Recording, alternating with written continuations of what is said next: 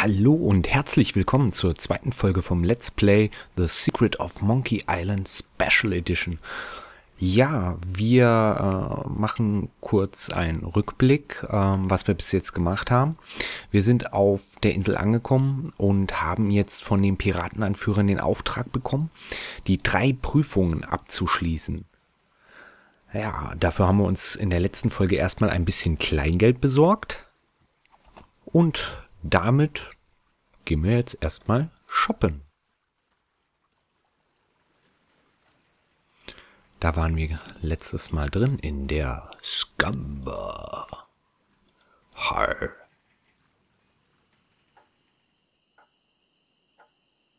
So, und jetzt sind wir in der Stadt. Entschuldigen Sie, haben Sie einen Vetter namens Sven? Nein, aber ich habe einen Friseur namens Dominik. Na dran. Willst du eine Karte? Zeig den Weg zum verlorenen Schatz von Mealy Island. Es gibt nur eine einzige. Wertvoll, sehr wertvoll. Für dich nur hundert Goldstücke. Ich nehme sie, gibt ein tolles Geschenk ab. Bitte sehr, eine weise Entscheidung. Nun zisch ab. Ist klar, Piraten sind hier immer sehr freundlich. So, ähm, nochmal ganz kurz. Äh, ich habe das, habe ja schon in der ersten Folge gesagt, ich habe es ja schon gespielt, ne? Vor, ne? Da war ich selber ein kleiner Bengel. Ähm, also nicht wundern. Es ist quasi auch so eine Komplettlösung und soll ich dann auch durchs Spiel bringen, das Ganze, ne? Hier zeige ich euch mal einen Tipp, wie man noch ganz schnell zwei Goldstücke bekommen kann. Und zwar reden wir jetzt einfach mit diesen drei Piraten. Hey, lass meine Ratte in Ruhe! Hey, nette Ratte. Magst du Ratten? Ja, ich liebe Ratten. Ratten sind sehr intelligente Lebewesen. Zum Beispiel intelligenter als Fred hier. Ja, man erzählt sich sogar die Geschichte, dass eine Truppe von Ratten ein Schiff von Monkey Island hierher gesegelt haben. Nein, so stimmt das nicht. In Wirklichkeit war es eine Herde Affen. Das ist ja fantastisch. Aber wahr. Als sie hier ankamen, haben sie das Schiff für einen guten Preis verkauft. Das war das einzige Mal, dass Stan bei einem Handel den kürzeren gezogen hat. Ich bin mir sicher, es waren Ratten.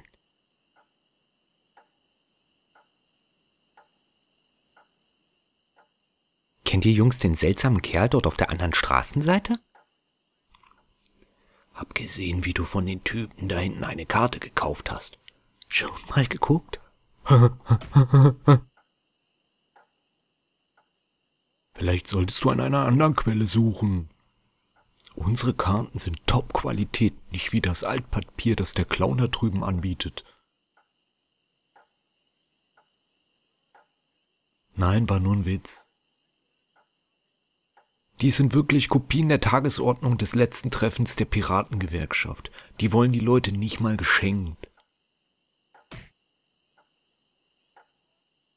Willst du eine? Nein, aber wenn ihr mir zwei Gold geben würdet? Gut, das klingt fair. Alles klar, ich gehe dann mal wieder. Und schwupps haben wir zwei Gold mehr auf dem Konto. Abzüglich natürlich der 100, die wir für die Karte gekauft haben. Ne? Aber naja.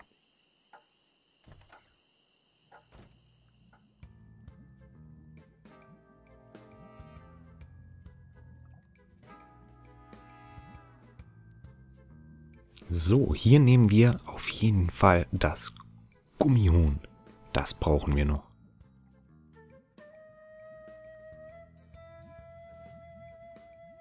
Mal sehen, was ein Glas mit Fledermauskot, eine Schachtel mit Gräten sortiert, ein Streuer mit Affenschuppen und ein paar Katzenknöchel. Katzenknöchel? Wie barbarisch!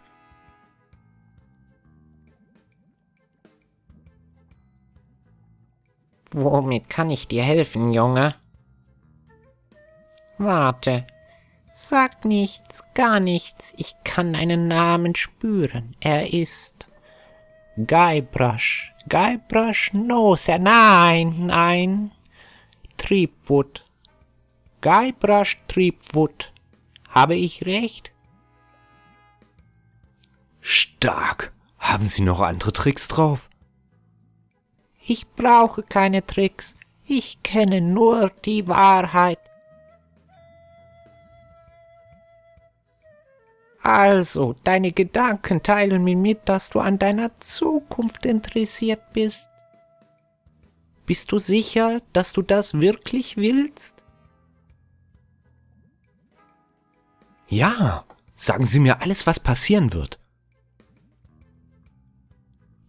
Ich habe eine Vision. Ich sehe dich auf einer Reise, einer langen Reise.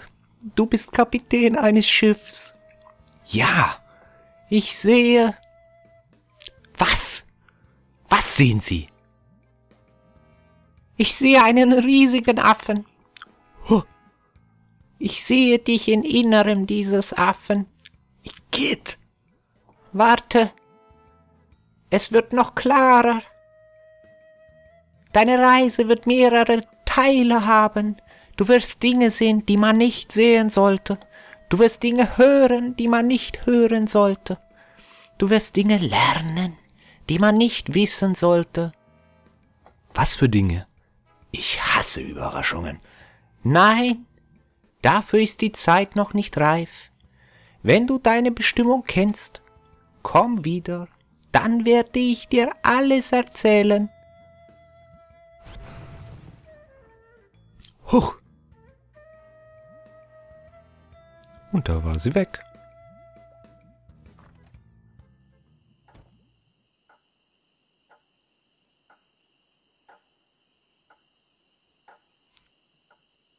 So, dann wie versprochen, gehen wir jetzt erstmal shoppen. Oh, da hat's in der Kasse gepiepst. Hallo? Ist hier jemand? Hallo? In so einer verlassenen dunklen Gasse könnte jemanden etwas zustoßen. Und zu dieser nachtschlafenden Zeit gäbe es keine Zeugen. Ja, und Leute, die sich von hinten anschleichen, könnte auch etwas passieren. Aha, du willst mir also Schwierigkeiten machen, wie? Wer bist du überhaupt? Ich bin Guybrush Threepwood, ein mächtiger Pirat. Hör zu, Peepwood. Threepwood. Guybrush Threepwood. Egal, hör genau zu. Ich bin hier der Polizeichef. Sheriff Fester Scheintop. Hör auf meinen Rat, das ist nicht die beste Zeit, Mealy Island zu besuchen. Eine sehr schlechte Zeit sogar.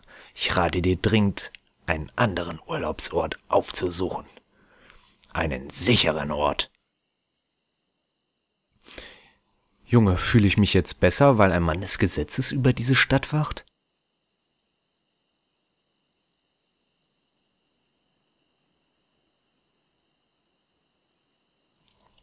Gut, erstmal gehen wir nochmal vorher ins Gefängnis.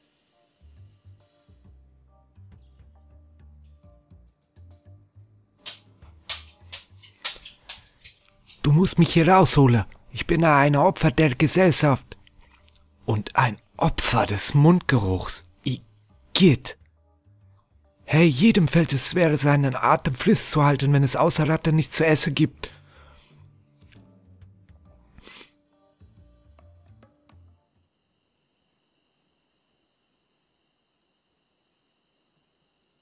Gut. Aber jetzt zum Händler. Keiner da. Okay, wir nehmen hier oben die Schaufel.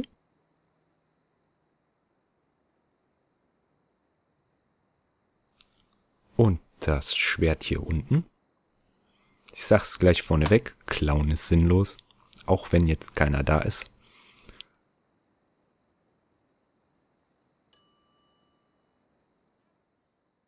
Das passiert doch immer. Ich bin kaum zwei Sekunden von der Theke und schon benutzt irgendein Idiot gleich die Glocke.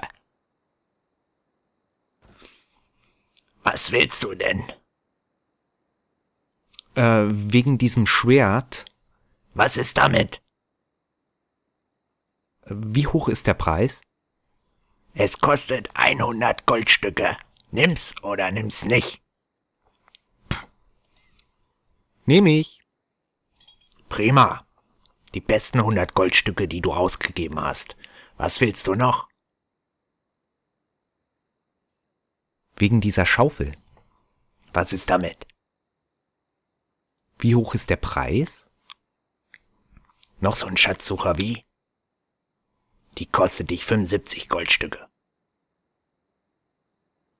Nehme ich. Prima. Die zahlen sich schnell aus, glaub mir.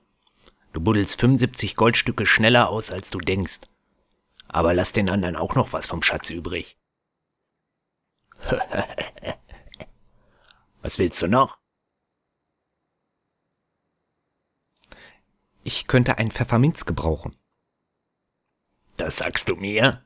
Hier, nimm eins. Bitte. Nimm die ganze Rolle. Das macht ein Goldstück. Was willst du noch? Oh, ich seh mich nur mal um. Hey, das ist keine Boutique. Mach was schneller.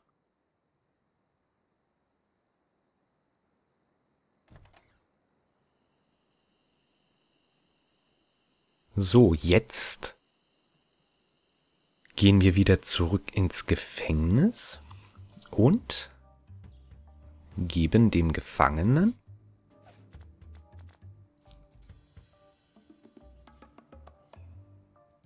das Pfefferminz.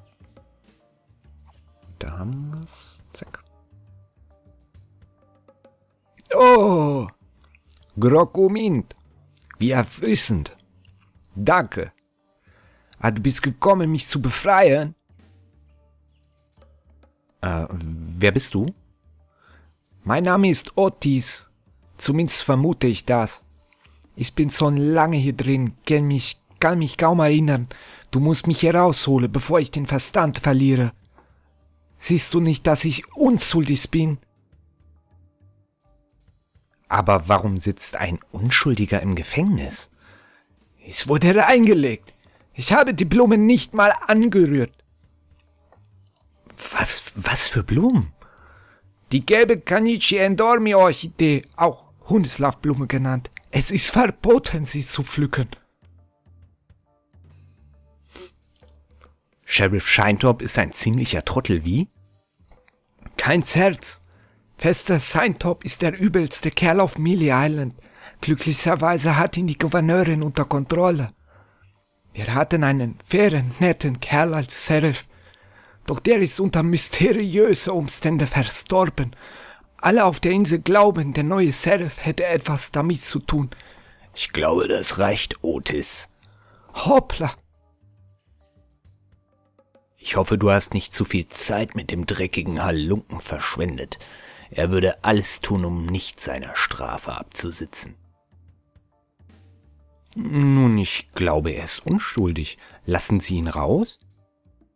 Fremder, kümmere dich um deine eigenen Geschäfte. Hier entscheide ich, wer schuldig oder unschuldig ist. En Entschuldigung. Hör zu, ich weiß nicht, was du vorhast, aber mit hoher Wahrscheinlichkeit ist es illegal. Also vergiss es lieber. Wo immer du auf Mealy Island hingehst, ich passe auf und wenn du eine falsche Bewegung machst, kannst du hier drin ein paar Jahre schmachten. Na, ist das eine Kotzbrocke? Siehst du jetzt, was ich hier ertragen muss? Du gehst besser, bevor du uns beide in Schwierigkeiten bringst.